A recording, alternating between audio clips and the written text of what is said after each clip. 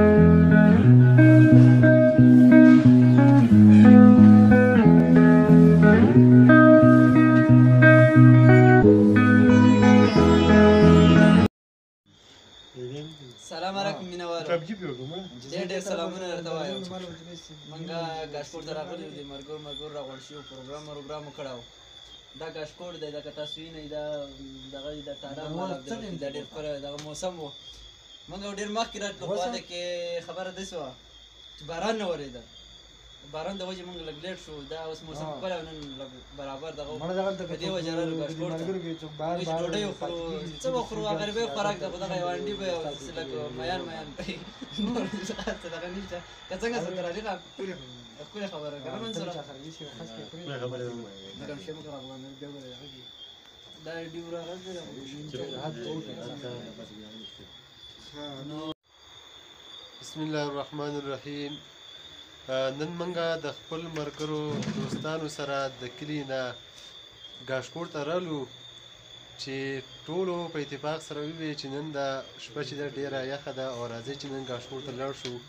او هلته د هنډي او ميان د دې نه چې دی مزه واخلو نو نن موږ د شپې وس په ګاشکوړ هوټل کې یو د ما سره موجب صفدر منصور او ارشد راغلي دي موږ ټول په جمع سره راغلي یو خو د موجب وی چې موسم هم ډیر ښکلی دی یخ یخ موسم دی خوراک نه به هم مزه واخلو او راځه چې د خپل مینوال ته لږې ټپي وکړو موجب خان تاسو لږې ټپي وکړئ د خپل مینوالو ته جی ډیره مهرباني او تاسو ډیره شکریا چې تاسو په دومره مصروف وخت کې موږ له ټیم راکو او ډیر خپل موسم دی او چکر دی راوتی او ګاشپور هوټل ته او ډیره مزه یې کړله موږ وایو چې په دې مزه یو په دوه کو او ټپې شروع کو نو زما د مرګر زما سره سلا ده کنه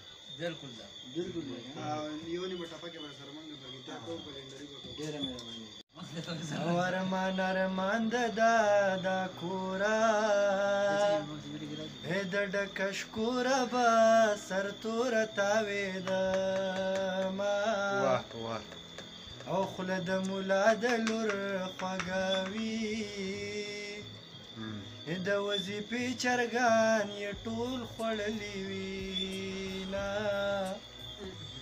او په کوڅه ډېرې پیرې وکا او مدام به نوي نړېدلي دیوالونه او زما پتا پسې جانانا